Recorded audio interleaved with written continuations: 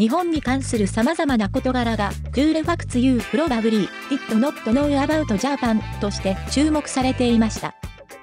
仕事の合間に昼寝をとることは生産性を上げるとして良いこととされていること、学生が教室を自分たちで掃除していること、自転車の機械式駐輪場、博多駅前の道路の陥没が1週間で復旧したこと、電車がいつも時間通りなこと、平均寿命83.7歳、100歳以上の人口も多いなど、長寿な国なこと、中でも沖縄は長寿として知られること、東京の地下には首都圏外郭放水路があること、また東京はホームレスが少ないことなどが紹介されています。